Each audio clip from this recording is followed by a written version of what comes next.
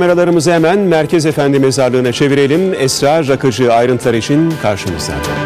Esra çok değil daha iki saat önce orada on binlerce kişi vardı. Peki şu anda durum ne? Gördüğümüz kadarıyla trafik e, açılmış. E, neler aktaracaksın oradan?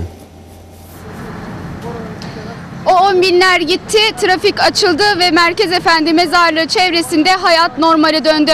Kaan Yakpan Merkez Efendi Mezarlığı son gün e, en kalabalık, en yoğun, en hüzünlü günlerinden birini yaşadı. Necmettin Erbakan son yolculuğunu Merkez Efendi Mezarlığı'nda noktaladı. Biraz önce haberimizde de izlediniz. Burada çok yoğun bir kalabalık vardı.